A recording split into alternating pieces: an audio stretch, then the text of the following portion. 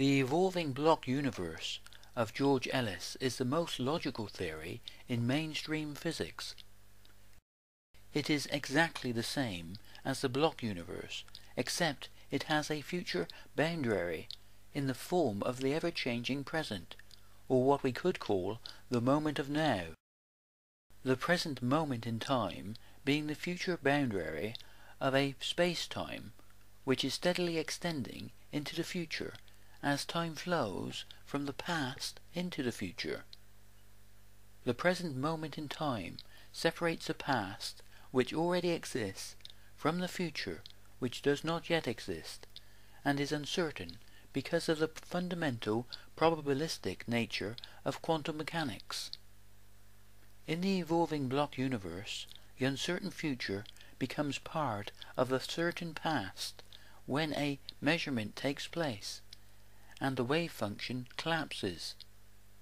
This is a continuous universal process that is happening all the time, everywhere, and is called decoherence in quantum theory. Therefore, the process is not just relative to the measurement device within an experiment, it must be relative to everything. That is a process over a period of time.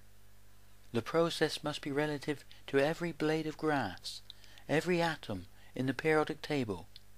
It must even be relative to every living cell within our own body.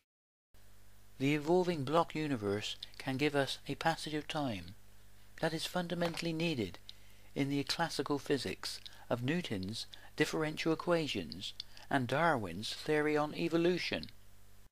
This process also forms a cosmological timeline as well, with quantum oscillations in the cosmic microwave background radiation, leading to the existence of galaxies. Quantum atom theory is very similar, but instead of having evolving blocks, we have the movement of positive and negative charge, forming a two-dimensional, dynamic boundary condition. In such a theory, we have an emergent future, unfolding photon by photon, relative to the atoms of the periodic table. The prime example of this is photon energy continuously cascading down from the sun, forming greater degrees of freedom for the disorganization of entropy that we have in the second law of thermodynamics. Each photon oscillation will only occur once, but the process as a whole will create the potential for disorganization with the built-in possibilities out of which complexity can arise. In such a theory, the wave-particle duality of light and matter in the form of electrons is forming a blank canvas that we can interact with, forming the possible into the actual we are an interactive part of this process, with the future unfolding relative to the energy and momentum of our actions, with each new photon-electron coupling or dipole moment. Because this is a universal process of energy exchange, each object or life form will always be in the center of their own reference frame, in the moment of now, being able to look back in time in all directions at the beauty of the stars. We have an infinite number of interactive reference frames that are continuously coming in and out of existence, with each reference frame having its own timeline from the past into the future.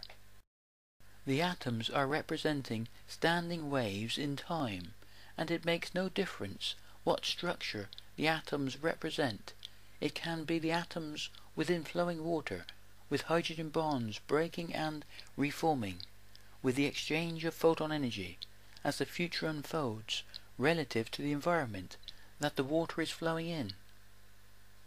The creative interactive nature of this process can be seen with just a change in environmental temperature, leading to the atoms bonding together relative to positive and negative charge forming infinite snowflake diversity.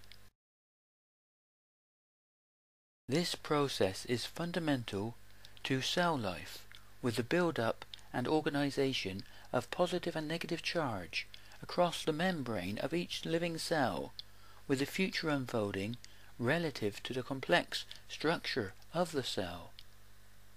In the evolving block universe, the past always exists, but in this theory, only the moment of now exists, relative to each object or life form, within the ever-changing world of our everyday life, that is maintained by the continuous exchange of photon energy. The universe is a continuum of continuous energy exchange formed by the spontaneous absorption and emission of light, with the movement of positive and negative charge, and the continuous flow of electromagnetic fields. Within this process, electromagnetism is the main force within the universe. This is because such a theory links the photon of quantum mechanics with the time dilation of Einstein's relativity, giving us what could be called quantum gravity. We have photon energy slowing up the rate that time flows as a process of continuous creation or energy exchange. Mass will increase relative to this within each individual reference frame, with gravity being a secondary force to the electromagnetic force. It is the outward momentum of light, as a process of energy exchange, that forms the inward force of gravity. This can be seen mathematically with both electromagnetism and gravity sharing the inverse square law, representing the dynamic geometry of one universal process. The geometry of this process forms the unity of physics and mathematics, with the flow of time being a fundamental feature of our everyday life within physical chemistry, engineering, and biology.